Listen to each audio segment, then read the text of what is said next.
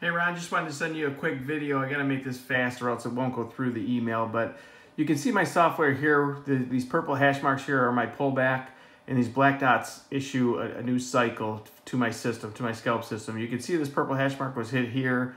Then we went on to win. Here's another one that filled right here, uh, like 1028, uh, 728 your time.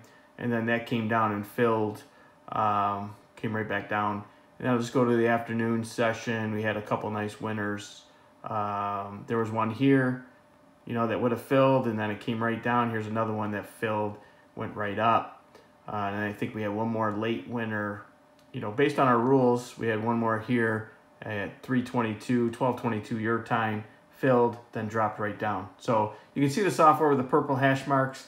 If you want to see more, just let me know, but I have to make this video quick so it sends through in an email. Thanks, Ron.